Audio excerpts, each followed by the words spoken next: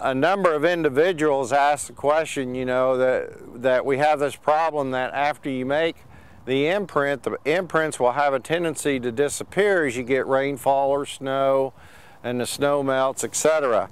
Uh, what we are wanting to, to show you here is that there is, is benefit to doing this. In order for the imprints to work properly, there must be some small type of tillage in front of the imprint wheel that we can make a print. And it doesn't have to be uh, uh, aggressive tillage by any means. And a certainly example is exactly where I'm standing. Uh, we imprinted uh, this area that you see right here across.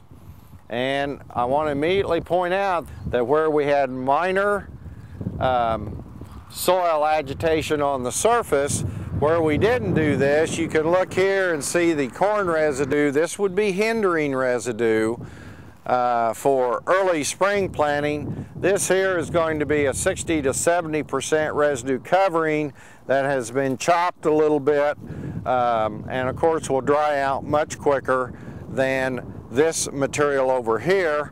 On top of this here probably will harbor uh, a number of insect debris that will hatch out and and uh, pose a, a, planting problem, uh, or excuse me, uh, an insect tolerance problem later on in the growing season.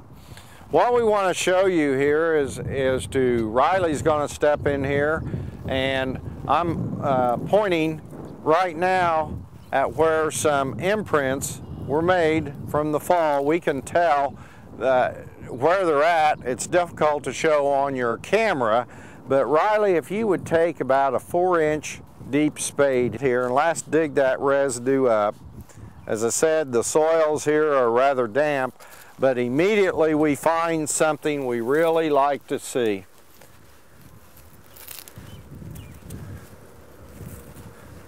There was dozens of them here when we you first made the stab. Look for a worm? Yeah, lots of them. Worms.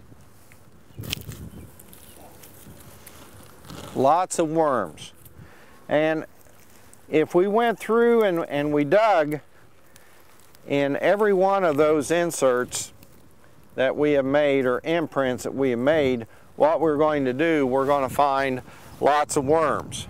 Okay? If I step over here now to the non-treated imprinted area and we took a stab right here, we'll see if we can find any equivalency to the worms and simply we do not. That's, that's really impressive there. Also notice this soil structure. This is something new. Notice the soil structure that you see right here and the soil structure that you see right here. This is finer, a little uh, more granular, uh, looser, very friable, root penetration good. This over here, gonna have to dry a while. And then if we got in and would accidentally get into this and it's too wet, uh, then we would be facing emergence problems. That's impressive, isn't it, Riley?